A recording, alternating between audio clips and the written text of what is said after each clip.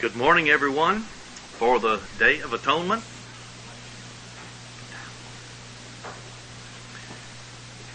In Deuteronomy chapter 16, verse 16 and 17, it says, Three times in a year shall all the males appear before the Lord your God in the place which he shall choose.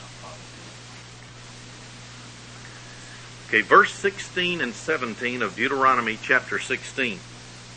Three times in the year shall all your males appear before the Lord your God in the place which he shall choose, in the feast of unleavened bread, in the feast of weeks, that's Pentecost, and in the feast of tabernacles, or it means the tabernacle season when you compare it with other scriptures like Exodus chapter 13 and 14.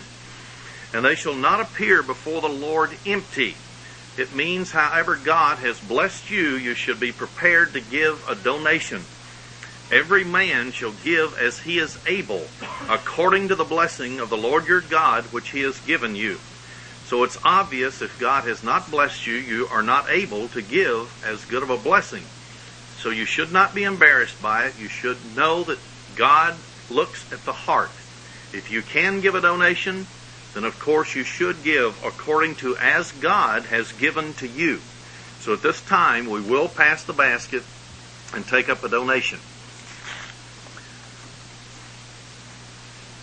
God has been good to us, and we have um, been reaching many, many people through radio and television, and we're having a lot of new response.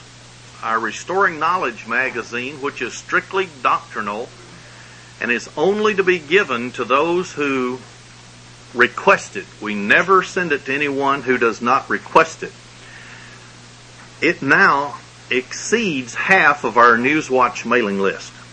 So hopefully over a period of time, we definitely will see a harvest from that. Now before the sermon this morning, we'll have one scripture reading by Sherry Linton.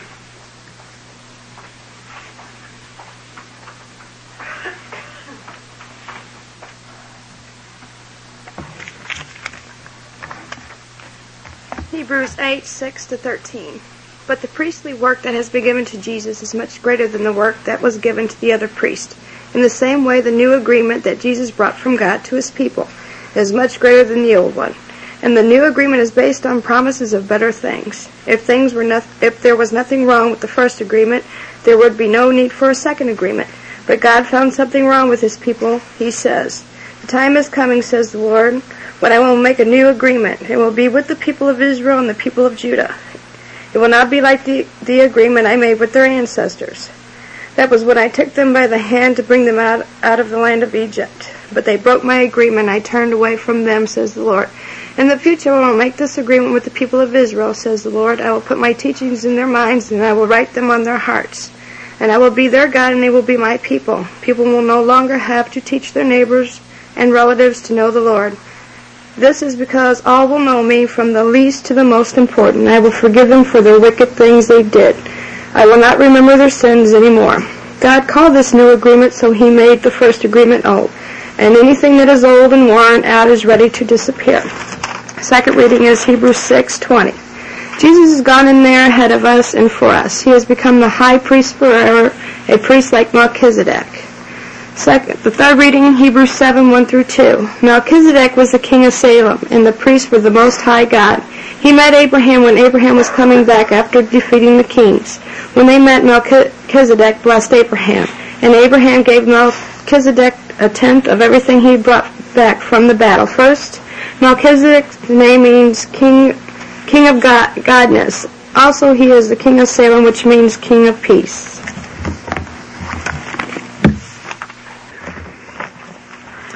When you look at Leviticus chapter 23, it's the only place in the entirety of the Bible where it does give a listing of all the holy days in one place. When you read about the Day of Atonement, it says you're to afflict your soul. Then when you look up the word afflict and trace it through the Strong's Concordance, you'll come up with Psalms, the book of Psalms, that tells you how you afflict your soul. You afflict your soul with fasting. Then when you trace the word fasting throughout the Bible, you find that fasting according to the biblical way, now I'm not talking about man's way, where it's a juice fast, where you only drink juices and you're going to lose weight. I'm talking about God's fast. You neither eat nor drink anything from sunset one night to sunset the next night. And it allows you to be humbled to realize that without the nourishment, then you would die eventually. So God sustains us. Well, what does the word atonement mean to us? Has it a definite meaning for just us as individuals who understand the truth of God? Or does it have a significant meaning for the entirety of the world? Is God, or has He, been put in a straitjacket by the religions of this world so that he cannot save according to them? Or does the Bible teach something totally different? Is it that we as a religious world, I'm talking about all religions combined, and especially those of Christianity, have they actually said to God, you must go by our concepts? and you can't save anybody except who we say you can. And anyone who's not a part of our little church cannot receive salvation. Or does the Bible teach something so magnificent that truly those who understand it have the good news that Jesus brought? That He came to atone for the world, not just for those that these churches say that he will atone for. In Genesis chapter 12, verse 1 to 3, now the Lord had said, that's past tense, unto Abram, Get you out of your country and from your kindred and from your father's house unto a land that I'll show you. I will make of you a great nation. I will bless you and make your name great. You shall be a blessing. This is Abraham and Abraham's descendants. And I will bless them that bless you, and curse him that curses you. And in you, that's Abraham and his descendants, throughout all generations, shall all the families of the earth be blessed. God called Abram. At a specific time, Abram answered the call and left Ur of the Chaldees. He was told that all the nations of the earth, every person that was ever born and drew breath, the breath of life, into his nostrils, and he became a living soul. Every person would have the opportunity to be blessed because of Abraham and his seed. In chapter 17 of Genesis, chapter 17, verse 1 through 7, and when Abram was 90 years old and nine, so here's a 99 year old, there's nobody in here that old. I don't know if he walked on crutches, I don't think so. It says the Lord appeared to Abram and said unto him, I am the Almighty God. Walk before me and be you perfect. Now we know Abraham was not perfect. When you look up this word, it's number 8549, it means sincere of heart. Now anybody can be sincere of heart but make a mistake. David did, king of Israel, a man after God's own heart. So God wasn't commanding Abraham to be perfect and never make a sin, but be sincere, genuine before him. I'll make my covenant between me and you and will multiply you exceedingly. So here was a covenant to be made between Abraham and God. And Abraham fell on his face and God talked with him saying, As for me, behold, my covenant is with you and you shall be a father of many nations. Neither shall your name any more be called Abram, but your name shall be Abraham, which is plural. For a father of many nations have I made you. I will make you exceeding fruitful. This is physical genealogy. And I will make nations come of you, and kings shall come out of you. And I will establish my covenant between me and you and your seed after you in their generations. Notice it's plural there. One generation rises up, they produce children, that generation dies out, the next generation is alive, produces more children, and whatever generation it is, God said, in that generation, I'll continue to make my covenant with those people. for an everlasting covenant. There it is, an everlasting covenant. Everlasting is number 5769 in the Strong's Concordance. The actual Hebrew word is olam. It means time out of mind, both in the past and in the future. You can never think of a time when God will not have his covenant with these people, Abraham's descendant. And it's through Abraham's seed that every other nation on earth, the Gentile nations, will have opportunity to be blessed also. To be a God unto you and to your seed after you. Now drop down to verse 9. And God said unto Abraham, You shall keep my covenant there for you and your seed after you in their generations. So whatever this covenant is, and I admonish you to make sure you're there for the first day of the Feast of Tabernacles. It's going to be a dramatic sermon. But anyway, God's covenant would be with Abraham and his seed in each succeeding generation. As long as there is a sun, as long as there is a moon in the sky, according to Psalms 89 and other places in the Bible, as long as there is a covenant with the moon and the sun, and they orbit, and the earth orbits the sun, and the moon orbits and it comes up, there will never be a time when this covenant will not exist. Now the people may not obey it. They may be in rebellion to God, but the covenant that God has will always be there for those in that generation that will accept it. Israel went into Egypt. This was Abraham after he died, Isaac, after Isaac died, here was Jacob. And he had 12 sons and a famine came in the land of Palestine. So he took his sons after Joseph had been sold into Egypt. They went into Egypt and they survived the famine. They became slaves to the Egyptians. They were forced seven days a week to work. Forced labor. Slave labor. They lost all track of anything to do with God. They didn't even know what day was the Sabbath day. They didn't know anything about the holy days anymore. They didn't know very, but very little about the very God of their fathers, Abraham, Isaac, and Jacob. Finally, God appeared to Moses and he brought them out of Egypt. It was a type, a physical type of salvation, just like the spiritual type is for us today. And 1 Corinthians chapter 10, I want us to make sure that we understand without doubt who it was that brought these people out of Egyptian bondage. This was not an old father God that was old and fuddy-duddy, and he was a harsh, mean person. No, it wasn't. Look in 1 Corinthians 10, verse 1 to 4. Moreover, brethren, I would not that you should be ignorant, how that all of our fathers were under the cloud and all passed through the sea. They saw this great God of the Old Testament, this great, if we ever know how to pronounce it before he returns, Yahweh, this God of the Old Testament, they saw him up there in the cloud. They didn't see him in person, but they saw the brilliance. And were all baptized unto Moses in the cloud and in the sea. So when they went through that Red Sea and it parted and stood up on both sides, both sides, the entire nation went through that Red Sea. And that was baptizing the nation. Now that was a type of the future baptism that we would have. That was physical, ours is spiritual. And did all eat the same spiritual meat, and did all drink the same spiritual drink, for they drank of that spiritual rock that followed them, and that rock was Christ.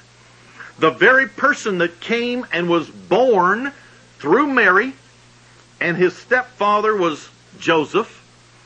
This person who died for our sins was the very person that led Israel out of Egyptian bondage. In John chapter 8 in the New Testament of the Bible, John chapter 8, it shows what Jesus had to say about his coming. Verse 27 to 29. They understood not that he spake to them of the Father. So Jesus is revealing now that there is a Father also. So he's not the only individual God or supreme deity in the universe. Then said Jesus unto them, When you have lifted up the Son of Man, then shall you know that I am he, and that I do nothing of myself, but as my Father hath taught me. I speak these things. And he that sent me is with me. The Father hath not left me alone, for I do always those things that please him. So Jesus was sent of the Father, the Father of the God family. Or in the Old Testament language, the Elohim family. Jesus was sent to create the world. He was sent to become the Savior of that creation. He will reconcile the world back to the Father. Then when Israel came through 40 years of wandering, before that was over with, and before they went into the land of Palestine, the land of Canaan, they came up to Mount Sinai. This person, Jesus Christ, redelivered the terms of the covenant to Israel after coming out of this captivity. Let's go back now to Exodus chapter 19. They've now been told by Moses to wash yourself, prepare yourself for several days. Get yourself clean, become holy, and then approach to the mount, but no one can touch the mountain itself. In verse 5 of Exodus 19, Now therefore, if you will obey my voice indeed and keep my covenant, then you shall be a peculiar treasure unto me above all people for all the earth is mine. You shall be unto me a kingdom of priests and an holy nation. This was the destiny of those people. They were to be the showcase for the world of obedience to God's covenant. If they would have obeyed all of God's covenant to perfection, every blessing that God offered them rain in due season so they would have absolute astonishing crops to the rest of the world because of obedience. Children where there would never be a deformity. There would never be diseases, sickness. He guaranteed physical perfection for these people if they would obey his covenant. Notice verse 8. And all the people answered together and said, All that the Lord has spoken, we will do. So they agreed to the covenant. They said, we'll perform it. Everything God says. Well, in verse 1 to 3 of Exodus 20, let's notice now who it was standing on the top of Mount Sinai. And he thundered down with his godly voice. And they could not stand to hear it. Verse 1 to 3. And God spake all these words, saying, I am the Lord your God, which have brought you out of the land of Egypt, out of the house of bondage. Wasn't that what I said in 1 Corinthians 10, 1 to 4? You shall have no other gods before me. You see, ancient Israel did not know there was a Father. You and I do because Jesus revealed it to us. They only thought this individual was the only God there was. But Jesus came and revealed and declared that there was a Father who was greater than He. But Jesus told those people, I am the one dealing with planet Earth. He told us in the New Testament, the Father sent me. He's been with me. I only do what He sent me to do. He created. He knelt down and breathed in the nostril of Adam, and he became a living soul. He created all that we see on planet Earth. Jesus presently sustains and upholds everything. He even gave and spoke all of his laws, statutes, and judgments in Exodus 20, 21, 22, and 23. This was the heart and core of the Constitution of all of God's law. Jesus, the Savior, and the one who's going to reconcile the world back to the Father is the one who gave these things. So when ministers come along in the 20th century and say, oh no, Jesus did away with all of those things. Why would Jesus do away with his own law? It doesn't even make sense. That tells me they don't even know who the God of the Old Testament was, or else they wouldn't make such statements. In Exodus chapter 24, here is Jesus Christ. In verse 3, and Moses came and told the people all the words of the Lord and all the judgments. And all the people answered with one voice and said, All the words which the Lord has said will we do. They accepted. Now notice that this covenant was ratified with blood. Verse 7 and 8.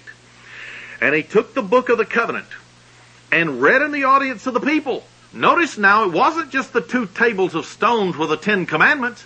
This was a book of the covenant that God gave to Moses and Moses wrote it in the book. And they said, all that the Lord has said will we do and be obedient. And Moses took the blood and sprinkled it on the people and said, Behold the blood of the covenant which the Lord hath made with you concerning all these words. So blood ratified the covenant. Israel now was to obey God and yet they rarely did. Very seldom was there ever a king that was raised up that ever obeyed God and tore down the, the church houses of that day that contained all the idols. They violated the covenant at every turn. In every generation. To be exact, one generation came along and a prophet of God, Isaiah, killed 430 priests of Baal. And then he ran for his life because evil Jezebel said, by this time tomorrow I'll have your life. And he ran for his life and said, God, I'm praying to you, kill me. I'm the only one left. And in a dream that night, God told him that there were 7,000 left that had not bowed their knees to Baal. So there are some in every generation that will keep the covenant of God. They'll be few and far between, but they're there. Ancient Israel never set the example of being an holy nation, except on a few occasions here and there. As a direct result of their disobedience, God did something. And remember in the New Testament in Romans 15 verse 4, it said everything written in the Old Testament is an example for us today. It, it shows how God dealt with them physically and he deals with us spiritually. In Jeremiah, one of the longest prophecies of the Old Testament, chapter 3, God showed what his attitude toward ancient Israel was because they continued to disobey. Verse 6 through 10. And the Lord said also unto me in the days of Josiah the king, Have you seen that which backsliding Israel has done? Remember, by this time, the nation of Israel was divided into the northern ten tribes and the two southern tribes that was called Judah. They were separate nationalities now, separate nations. And your Bible maps show the division after Solomon's death and King Rehoboam took over.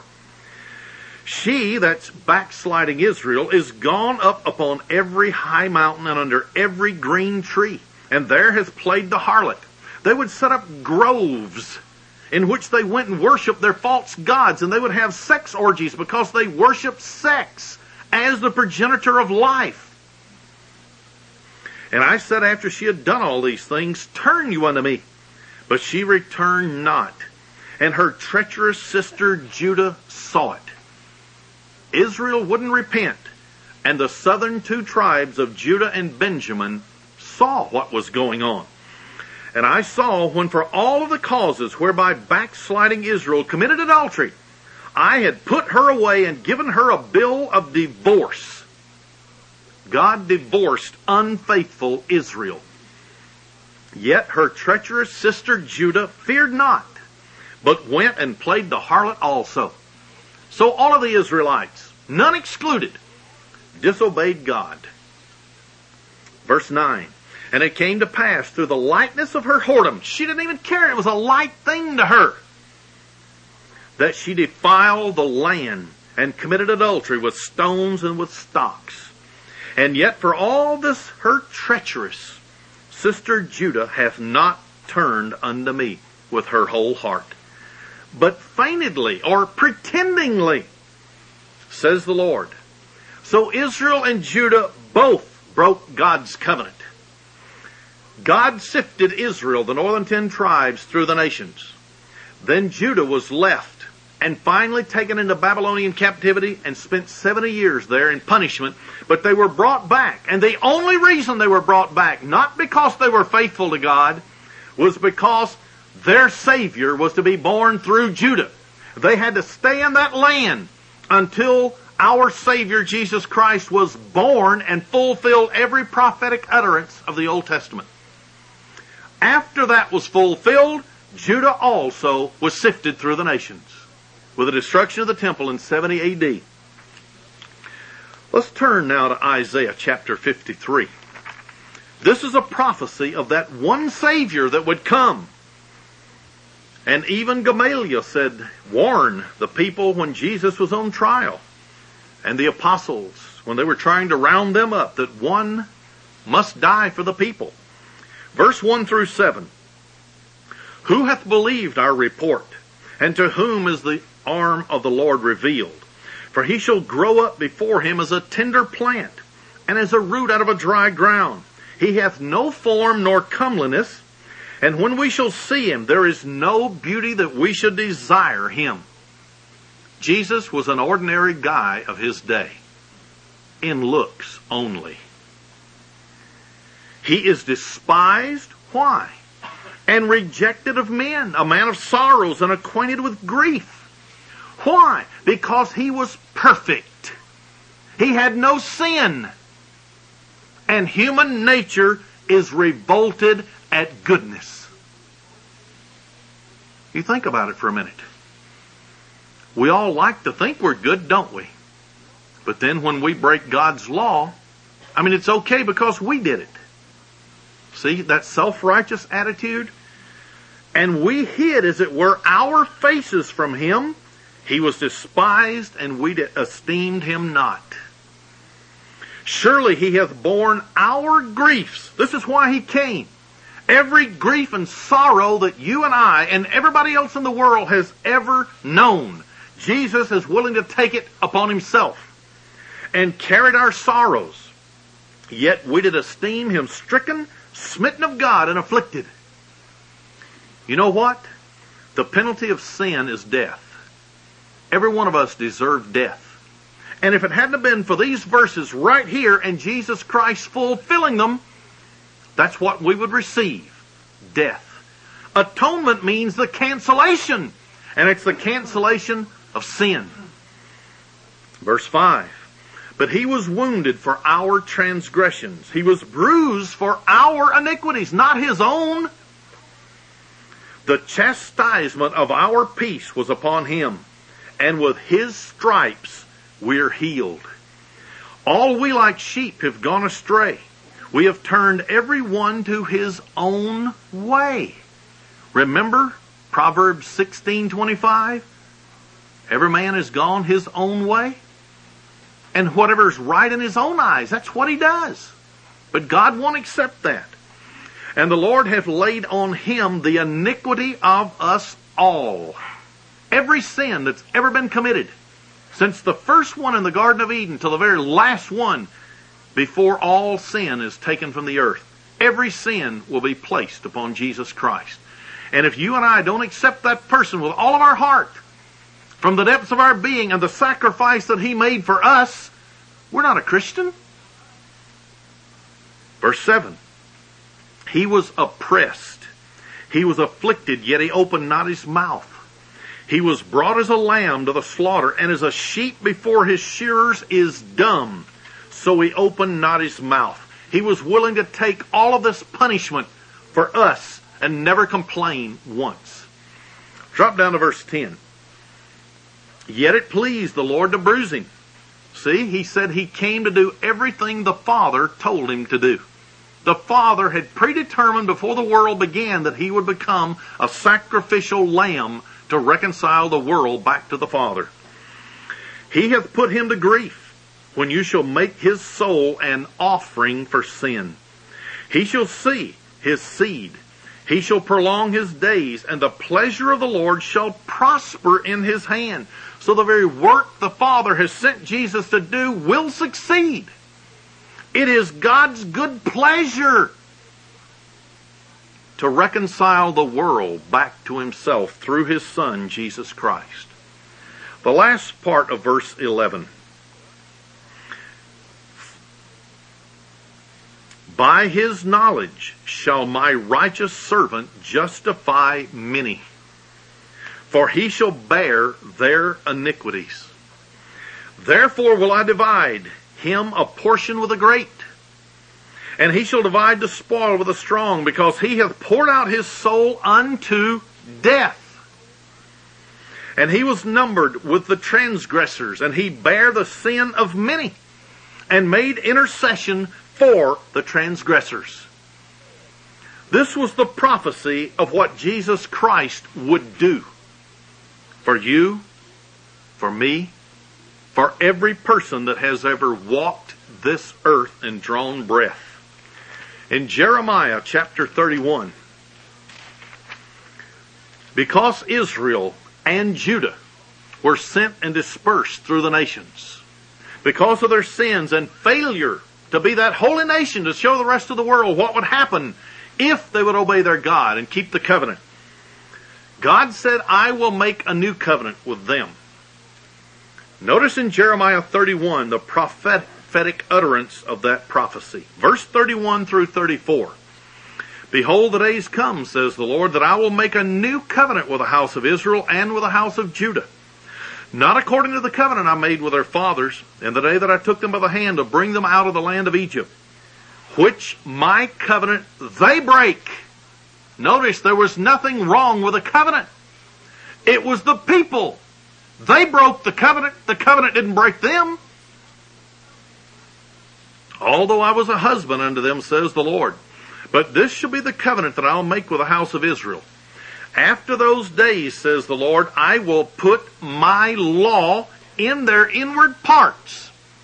It does not say I will abolish that old law because they couldn't keep it. It says I'll put that same identical law inside of them. In their heart, in their mind, their attitude. Write it in their hearts and will be their God and they shall be my people. And they shall teach no more every man his neighbor and every man his brother, saying, Know the Lord. For they shall all know me from the least of them unto the greatest of them, says the Lord. For I will forgive their iniquity. I will remember their sin no more.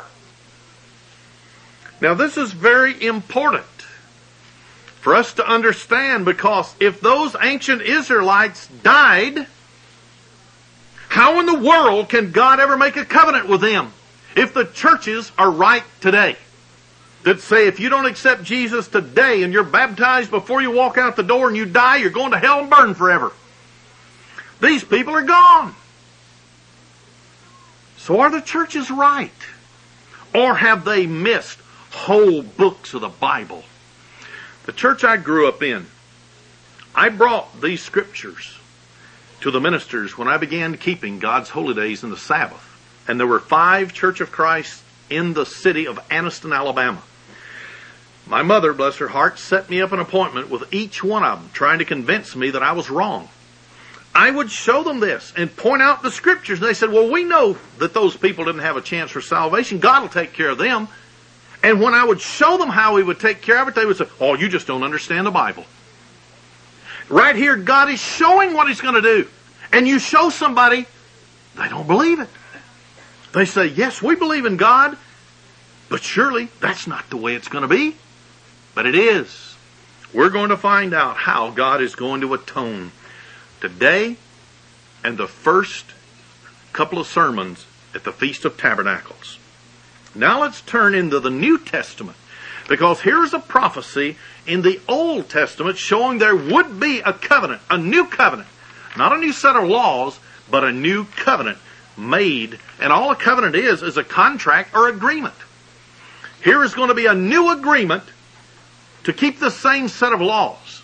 But we're going to see what in the world it was about that old agreement that they couldn't keep. And then what is good about the new agreement. In Hebrews chapter 8, start in verse 6. But now hath he obtained, this is talking about Jesus, a more excellent ministry. By how much also he is the mediator of a better covenant, which was established upon better promises. Notice what this verse does say now. It says there'll be a better covenant. It does not say better laws. How can you get better than perfection? Psalms 19:7 says the law of the Lord is perfect, converting the soul. So if the law of God is perfect, converting the soul, isn't that what we want? Then why do away with that which converts? No, he said it'll be a better covenant and it'll be established or based upon better promises. It's the promises for obeying that same law that's better.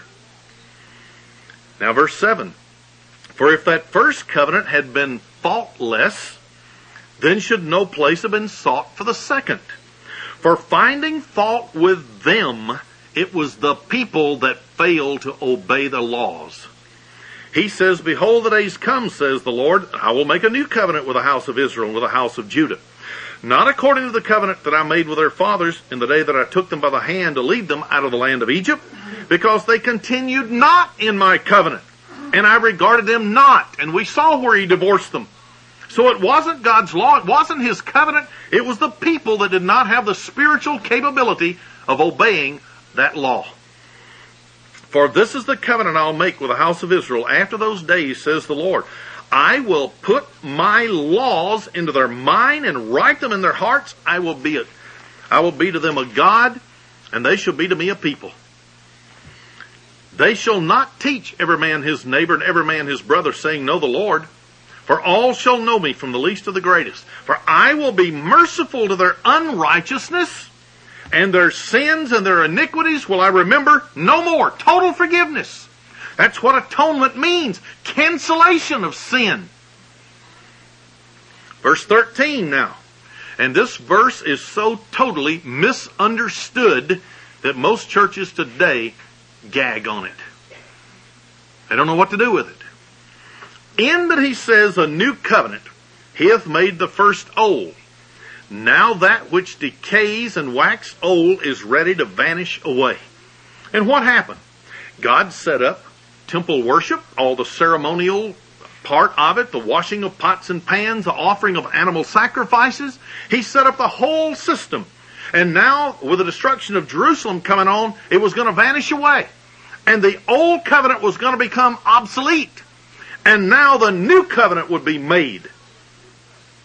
And the new covenant was the same laws, but it was God's everlasting covenant that he gave to Abraham not the sacrificial system that was given later. So now, from these verses right here, we must conclude, if we believe exactly what it says, that it's the same set of laws would determine sin. The new covenant would have better promises. Some of those better promises were the Holy Spirit would be given to give us the power to obey. Another one of those good promises was forgiveness of sin. They had no forgiveness in the Old Testament. All they did when they sinned was went and offered an animal sacrifice, rolling their sins forward, looking to the day when they'd be forgiven. The Old Covenant, people died under two or three witnesses.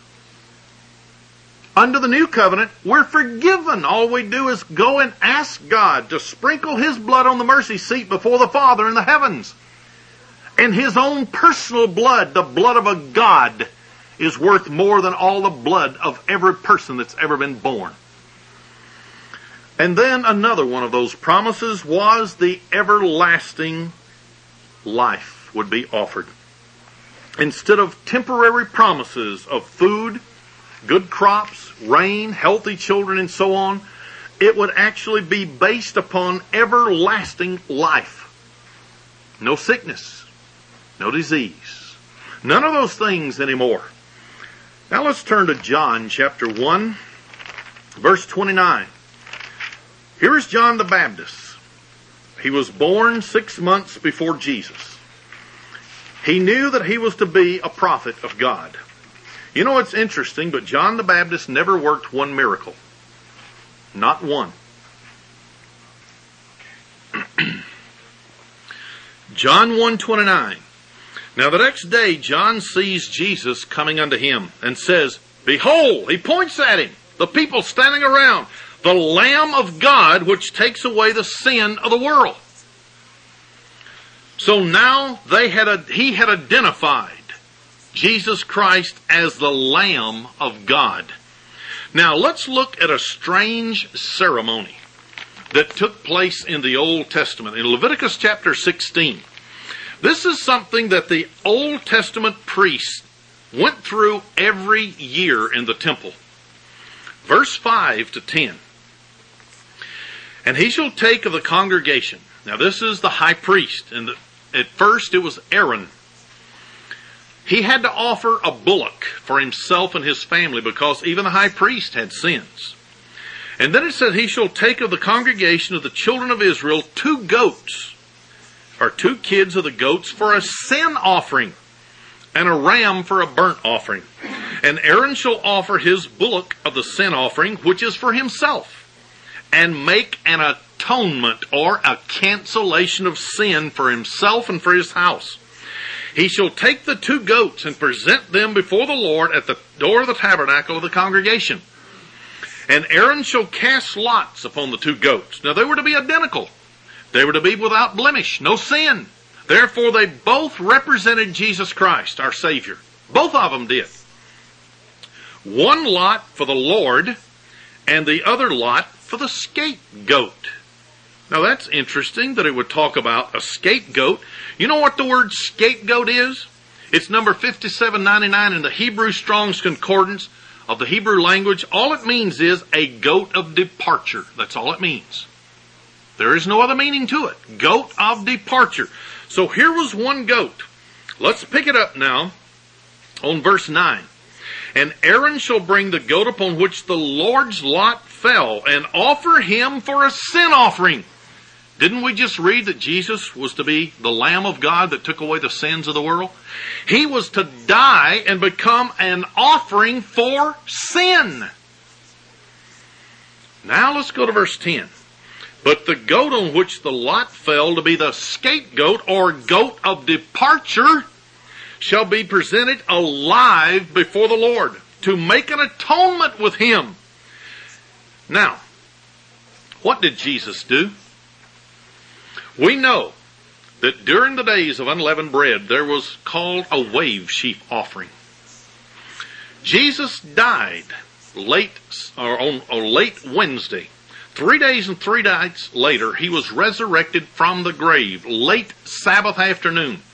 When the people got to the tomb early that morning, while it was yet dark, Sunday morning before the sun ever came up, it was still dark. Read John and Matthew, the last chapters, and so on.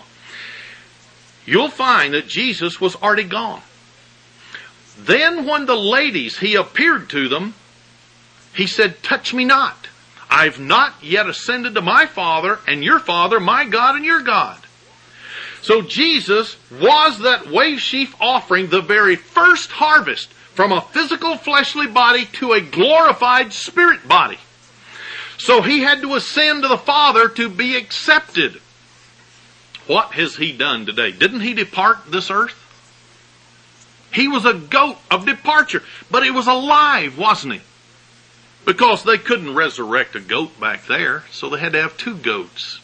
One for the sin offering, and then the other was a goat of departure, where Jesus was depart this earth and sit down at the right hand of the Father, and he would be the atonement to make atonement with the Father for us. Because it says, shall be presented alive before the Lord to make an atonement with Him. So here's Jesus now dying for our sins. He paid the penalty of death, but He was resurrected and went to the Father in the heavens, sitting at the right hand, and every time we make a mistake, He's sprinkling His blood on the mercy seat. And He forgives our sins. He's made the atonement with the Father for us. He's alive. Well, Hebrews 6, verse 20. The New Testament bears out that Jesus definitely would be a living high priest, not a dead high priest. Chapter 6 of Hebrews, verse 20. Referring to Jesus, whether the forerunner is for us entered this is into the Holy of Holies. You see, only the high priest could go behind that veil in the temple and offer a sin offering once a year. That was all. And that represented the Father's throne. But now Jesus, who now has died for our sins, he is our high priest now. He has entered for us. Even Jesus made a high priest forever after the order of Melchizedek. Jesus departed this earth, entered into the very throne room of the Father in the heavens as our high priest. He's pioneered the way for us so we also can go into the Holy of Holies with our prayers today and the Father will hear. And Jesus continually offers His shed blood for our sins. Every time we make a mistake, we go and ask forgiveness and He is alive to perpetually, at all times, cover those sins and cancel them. Chapter 7 of Hebrews, verse 1 and 2. For this Melchizedek, king of Salem, priest of the Most High God, who met Abraham returning from the slaughter of the kings and blessed him. And if you want to read about that, you have to go back to uh, Genesis chapter 14. And you'll see where Abraham actually gave him a tenth of the spoils. So was tithing known back then? Yes, it was. Verse 2. To whom also Abraham gave a tenth part of all. First being by interpretation king of righteousness. After that also king of Salem, which is king of peace. So Melchizedek was Jesus of the Old Testament at that point in time. Abraham understood tithing. He gave a tenth. And in Genesis 26 verse 5, it says that Abraham obeyed my, Jesus Christ, voice, kept my commandments, my statutes, and my laws. How could Abraham do that if he didn't know about the covenant? Jesus Christ taught him the covenant. Now, verse 3, Hebrews 7. It's talking about this new high priest now that's gone into the heavens. He's immortal. He lives forever. Without father, without mother, without descent. Neither having beginning of days nor end of life, but made like unto the Son of God, abides a priest continually. So here now the writer of the book of Hebrews is beginning to compare Jesus as our high priest with the physical Levitical priesthood. Notice now in the comparison as we go on down through here, the Levites had physical human parents. But Jesus gave up being the God of the Old Testament to be placed into the womb of Mary by the Holy Spirit. He had no beginning by a physical human life other than the Holy Spirit put him into Mary so he could have a human form for a while. And Joseph was his stepfather. Not his real father, God is. And then another comparison is the Levites were born a certain day and died a certain day. And they kept records. Jesus was alive before being put into Mary and was alive from the grave. He was resurrected and he's alive forevermore. So where those Old Testament high priests would live and die, Jesus never dies. He died once as a sin offering, but was resurrected. In John 17, 5, and keep your fingers here in Hebrews, we'll be right back to it. But John 17, 5, Jesus made a special prayer just before he was to be taken out and he would be exposed by Satan and his agent as the person to be crucified.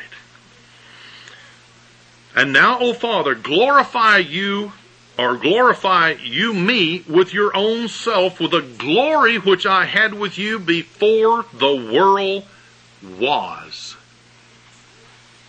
Jesus had glory, immortality with the Father before the world existed. And Jesus was the one that the Father sent to create all things. He was to be the reconciling agent of the human race back to the Father. And now he has ascended to the high priest job forevermore. Now verse 5 through 11 of Hebrews chapter 7. And verily they that are of the sons of Levi, here they're physical, fleshly, human beings, who receive the office of the priest, priesthood have a commandment to take tithes of the people, according to the law, that is, of their brethren, though they come out of the loins of Abraham. They were descended from Abraham. And yet the comparison is Jesus wasn't. He was before Abraham. Remember, remember in the book of John where the scribes and Pharisees were getting upset with Jesus and, and he asked them about Abraham and he said, before Abraham was, I am. He existed before Abraham was ever born. And that's when they decided to kill him after that because he made himself God. Verse 6.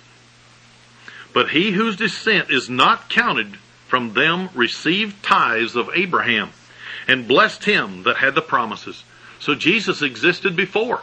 He was the one that took tithes of Abraham. And yet none of the Levites had ever been born yet. Verse 7. And without all contradiction, the less that's Abraham is blessed of the better. Here is a God that blessed Abraham, a physical human being. Verse 8. And here men that re- did receive tithes, but there he received them of whom it is witnessed that he lives. So here, the Old Testament Michael, um, Melchizedek priesthood received tithes of Abraham. And yet the rest of the Levites weren't even born yet. And yet this same Melchizedek priesthood now exists through Jesus.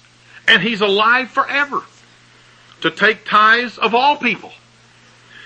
Verse 9, for as I may say, Levi also, who received tithes, paid, paid tithes in Abraham. Why? Because Abraham was born then Isaac, then Jacob, then the twelve sons of Jacob, and one of them was Levi. Levi's descendants became the Levitical priesthood. They all paid tithes themselves up until it got to the high priest. Verse 10 For he was yet in the loins of his father when Melchizedek met him. So the Levitical priesthood didn't exist when Abraham met Melchizedek.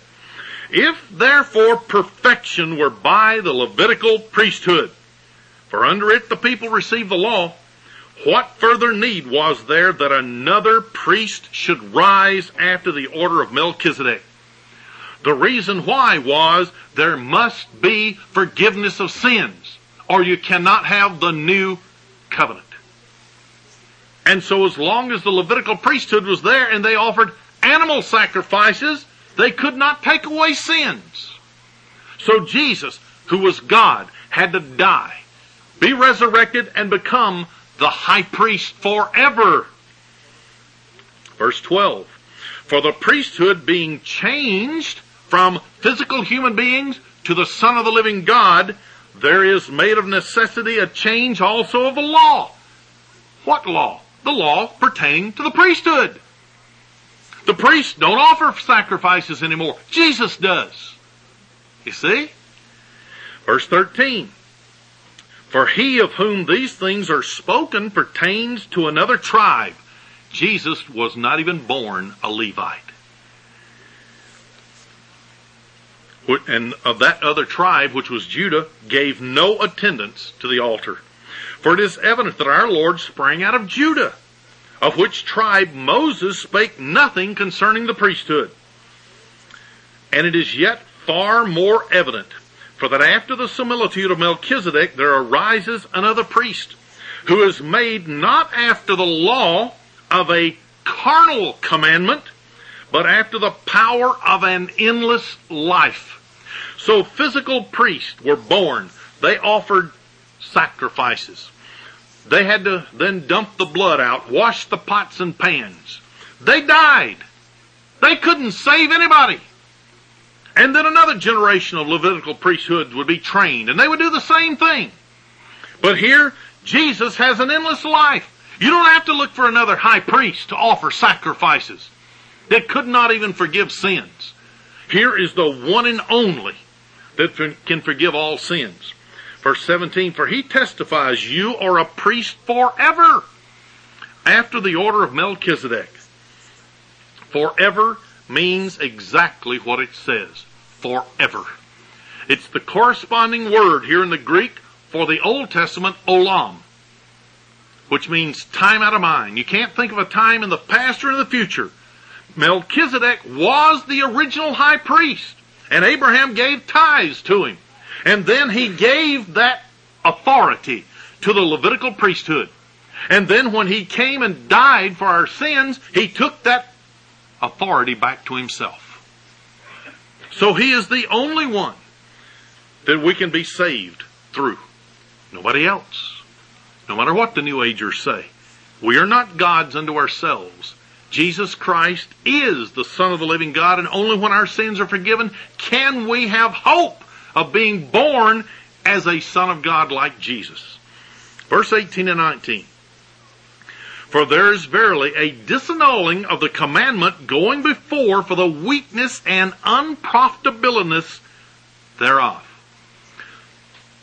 So there was a change from the physical, fleshly priesthood, which profited nobody. If you want to get real technical, all it was was a burden. All it was was something to give people jobs. Until the real thing came along. I'm just being facetious. But it couldn't forgive a sin. Period. Nothing. Verse 19, for the law made nothing perfect. But the bringing in of a better hope did, for the which we draw nigh unto God. So see, a change in an inadequate priestly system was a necessity. There was no forgiveness in the Old Testament, but there is in the New Testament. A better hope, a better covenant, a better priesthood, because this priest lives forever. Verse 20. And inasmuch as not without an oath he was made priest. So the Father is the one you might say that swore him into office. Verse 21.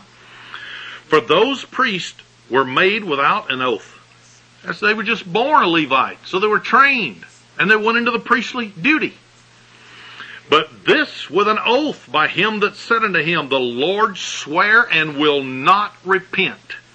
You are a priest forever after the order of Melchizedek. So Jesus is it, nothing else. And this new system of sacrifices that's going to be coming in Jerusalem can't do a thing for the people. They're obsolete. Verse 22. By so much was Jesus made a surety of a better testament. And they truly were many priests because they were not suffered to continue. They couldn't go on because they were not immortal. They died. But this man, the comparison goes on, because he continues ever, has an unchangeable priesthood. Wherefore he is able also to save them to the uttermost that come unto him or come unto God by him, seeing he ever lives to make intercession for them. Here's the key. That second goat, the scapegoat, the goat of departure, departed this earth and went into the throne room, the Holy of Holies of the Father. And he is interceding right now for every one of us. And sometimes we make mistakes, we know something's wrong, but we can't pinpoint it. And the Holy Spirit in us is agonizing and is actually sending messages. And God the Father forgives because Jesus is there interceding for us. We've got it made if we realize what we're doing and who it is that is our high priest. Verse 26. For such a high priest became us, who is holy, harmless, undefiled, separate from sinners, and made higher than the heavens. He told us we couldn't depart out of this world. We had to rub elbows with the sinners, but we weren't to participate in their sins. Verse 27. Who needs not daily, as those high priests, the Levitical priesthood, to offer up sacrifice first for their own sins and then for the people's. For this he did once when he offered up himself. That's all it took. One sacrifice of a God. And all the sins of the world can be forgiven. Verse 28. For the law makes men high priests, which have infirmity. The old covenant made people priests who still were sinners. But the word of the oath, which was since the law, makes the Son who is consecrated forever. So Jesus is the one who is bearing our sins. But who will be reconciled by this high priest? Who will be? I think this is important for us to understand. If we go according to the churches of this world, and I do say churches of this world because many are called, but few are chosen. And those who are called play church. They do the best they can. They're sincere. Never doubt it. They are honest the best they understand. But they just don't understand because God's Spirit is not working actively inside them, only externally drawing them, but they won't follow through with obedience. Therefore, he never gives it inside of their mind. But they're doing the best they can. They'll not be turned away when their time comes. Notice what it says in 1 Corinthians chapter 15 verse 22 and 23. For as in Adam all die. Why? Because we've all sinned. Even so in Christ shall all be made alive. Well, if in Adam all die, has every human being that's ever existed died? Does anybody know of someone that's still living from the days of Adam? Or Noah? Or maybe they stowed away on the ark? Does anybody know them? No. We see grave sites everywhere, don't we? We know that every person born dies. Everyone. No exception. But every man in his own order. The word order is number 5001 in the concordance of the Greek language. It means there is a series of resurrections. The very first one was Jesus. The second one is going to be those that are called today and are going to be reconciled now. And at the seventh trump, when Christ returns, will be changed. But then there is still an order of resurrections. And that's what the rest of the holy days and the Day of Atonement and the Feast of Tabernacles pictures in God's plan of salvation. And yet when I met with those five ministers in Anniston, Alabama, they didn't understand when I showed them there is an order of resurrections. All they knew was if I walked out that door and I didn't get right, and get back in the Church of Christ, and I died, I was in hell forever. And they'd wave at me once in a while, but, you know, that's not the way it is. Those people have died. What about those people that died before Jesus was ever born? They didn't have a chance to accept him as their Savior. What about those who were not born of Israel, who lived in Africa, or maybe even in the Americas, in Russia, in China? They didn't have satellite television in those days. What about before the flood? They didn't have it. Maybe they did. And it was destroyed by the flood. But after the flood, when everything started over, they didn't have instant communication. How could they know who Jesus was? They didn't have radio stations, short wave that went around the world with religious program after religious program, satellite television so they could blanket the earth. They didn't have it. Is God responsible for those people or are they just lost? That's what atonement is all about. Romans chapter, excuse me, chapter 11, verse 1 in the first part of verse 2. I say then, has God cast away his people? God forbid. He actually forbids us to even think that Israel will not have an opportunity for salvation. For I also am an Israelite of the seed of Abraham of the tribe of Benjamin. God hath not cast away his people which he foreknew. I believe that's as simple as you can get. And if people understand that, then what are the preachers going to say then? God said he hadn't thrown them away. What is he going to do with them then? They haven't accepted Christ. That's evident. Most Jews today have never accepted Jesus Christ. Of course, that's only one tribe, Judah.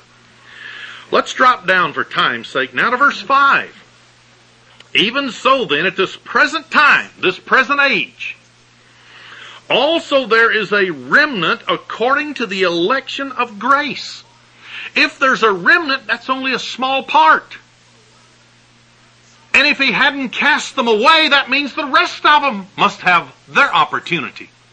Only a small part are having their opportunity today.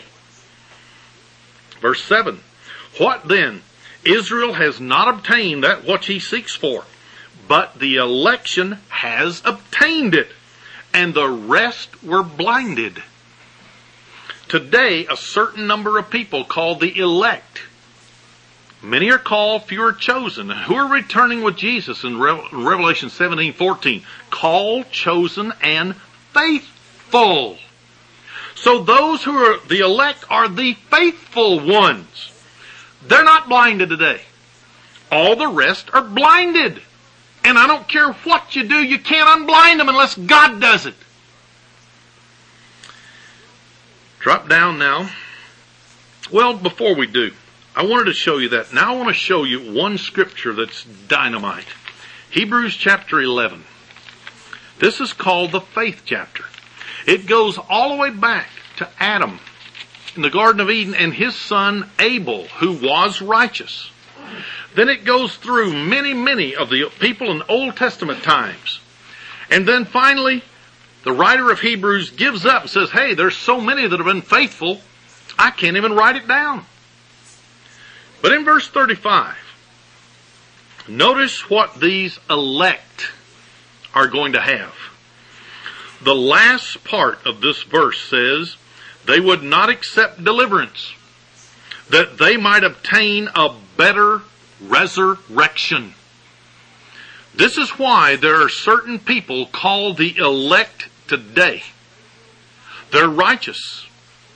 They will not give up. I don't care what stands in front of them. I've known people who have given up jobs and lost all their security in this world because they were required to work on God's Sabbath and holy days. And they wouldn't do it. They wouldn't do it because they were after a better resurrection. Why in the world would we walk this way? If it says better, that means there is a lesser. I mean, it's only logical, isn't it? If you say, oh, he was the first, that automatically means there's going to be a second, doesn't it? Or you wouldn't say, oh, he's the first. You just say, oh, he's here. You know, when you have a party and you invite somebody and say, oh, you're the first to arrive. That means somebody else is coming too. And that's what he's talking about. If there's a first resurrection, there's got to be a second. Let's go back now to Romans 11. Verse 15. For if the casting away of them be the reconciling of the world, the blinding of Israel, what shall the receiving of them be, or Israel, but life from the dead? Israel is going to be resurrected from the dead. And they're going to have opportunity for salvation. But it won't be until Christ returns. Let's drop now, down now to verse 25 and 26. For I would not, brethren, that you should be ignorant of this mystery, lest you should be wise in your own conceit, that blindness in part has happened to Israel until the fullness of the Gentiles be come in. Blindness has come over Israel until God has called all he's going to call from the different nations today. Verse 26, and so all Israel shall be saved. When are they going to be saved? Today? No, we've already been told that. As it is written, there shall come out of Zion the deliverer, and shall turn away ungodliness from Jacob. When will this happen? Revelation chapter 11 begins to tell us because some of us are being called today. Others are blinded and will not receive salvation until a certain period of time when the deliverer comes out of Israel or out of heaven and delivers Israel. In Revelation chapter 11, Revelation 11, verse 15, and the seventh angel sounded. Now, the significance of this is the book of Revelation is made up of seven seals.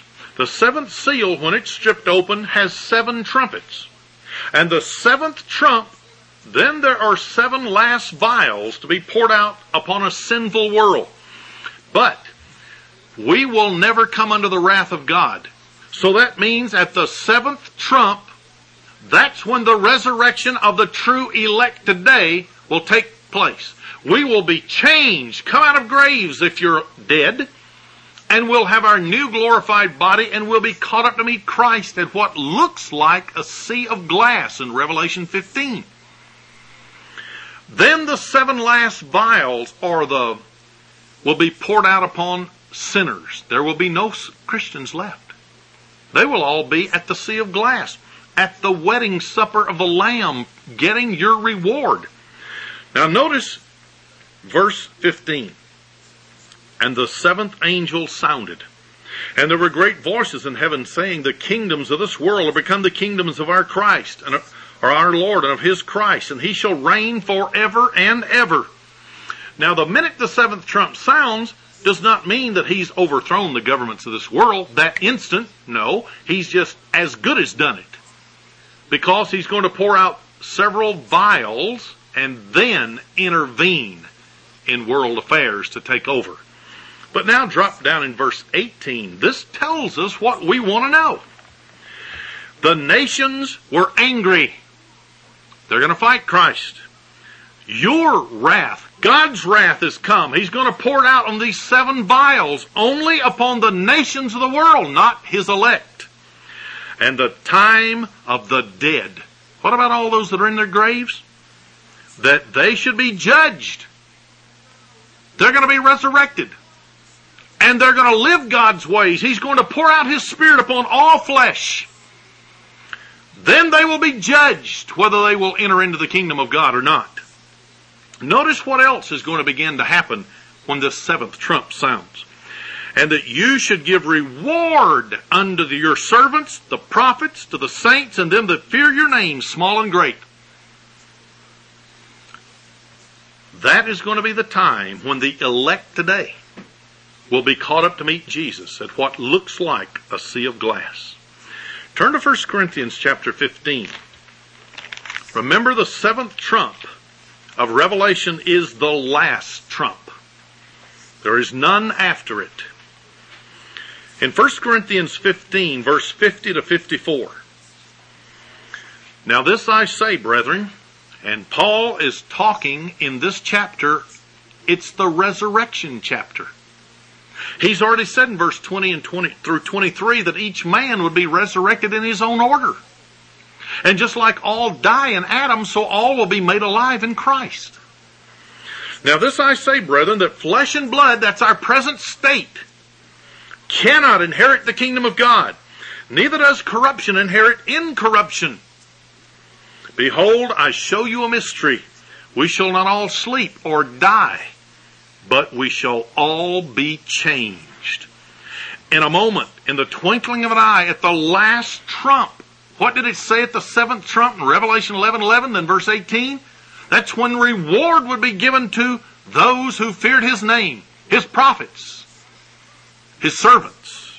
And here it is, the last trump. For the trumpet shall sound, and the dead shall be raised incorruptible, and we shall be changed.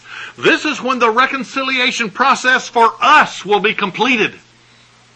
Not for the rest of the world. It's only about to begin. Only for those from righteous Abel up to all those until the seventh trump sounds. Only the elect will be changed into immortal bodies. Verse 54. For when, so when this corruptible shall have put on incorruption, and this mortal shall have put on immortality, then shall be brought to pass the saying that is written, Death is swallowed up in victory. This is the atonement for us. All of our sins forgiven.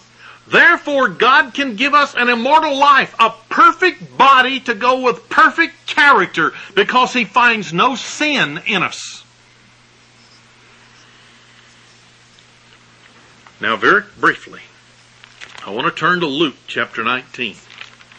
Because, brethren, today is your day to be reconciled. What is the purpose of God reconciling you and me instead of the rest of the world at the same time? Why? Luke chapter 19, verse 11 through 19. I'll read some and summarize parts. And as they, this is the disciples walking with Jesus, heard these things, he added and spake a parable because he, he was nigh to Jerusalem. And notice why else. Because they thought that the kingdom of God should immediately appear. The disciples thought that it was going to happen in their lifetime before they died. So here's what Jesus said. A certain nobleman went into a far country to receive for himself a kingdom and to return. He called his ten servants and delivered them ten pounds and said unto them, Occupy till I come. But his citizens hated him. That's the people of this world. And only ten servants were following him. And they sent a message after him saying, We will not have this man reign over us. That's the world today. And it came to pass that when he was returned, having received the kingdom, this is Jesus gone into the heavens, and at the seventh trump, He's going to start intervening. Then he commanded these servants to be called unto him, to whom he had given the money, or he had called, given his Holy Spirit, that he might know how much every man had gained by trading. This is an analogy. Then came the first, saying, Lord, your pound has gained ten pounds. What did Jesus say to him? Well, you good servant, because you've been faithful in a very little, have you authority or rulership over ten cities. And the second came, saying, Lord, your pound has gained five pounds. See, everybody's different. We all have different backgrounds, so we all cannot be judged equally. So God will not expect something of someone who has no education that he does from somebody that has a PhD if they're called and they can understand more. You see? And he said likewise unto him, Be you also over five cities. So God is calling the elect today for rulership positions, kings, priests, judges, to rule the world. Why are we going to be judging?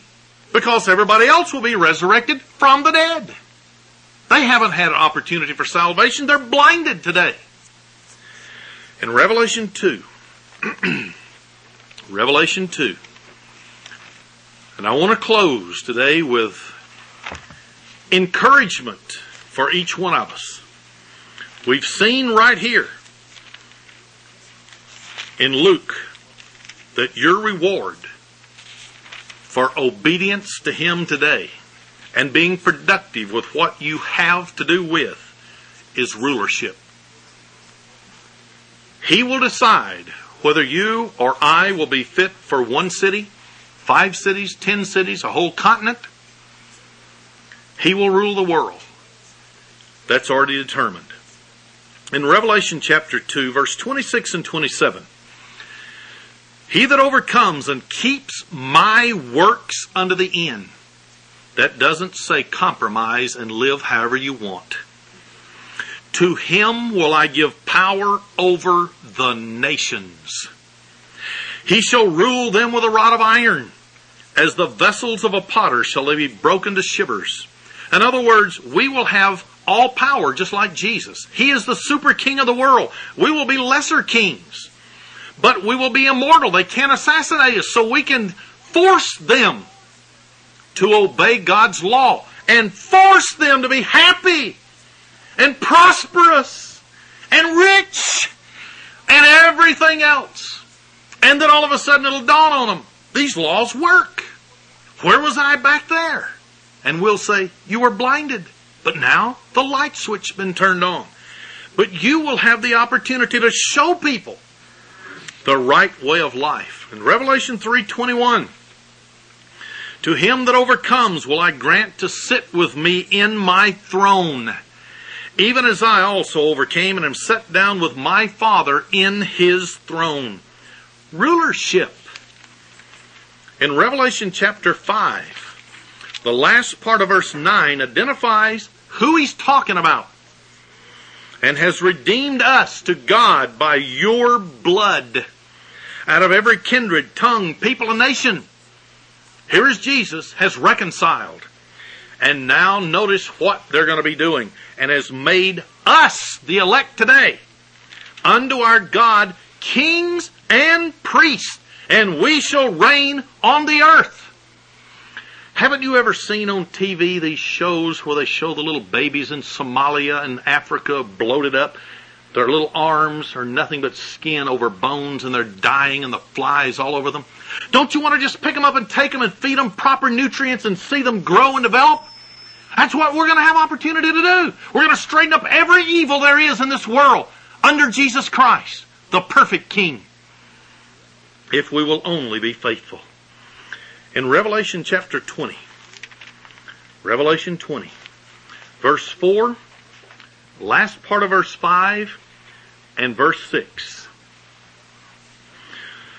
And I saw thrones, and they sat upon them. They is plural. Jesus is one person.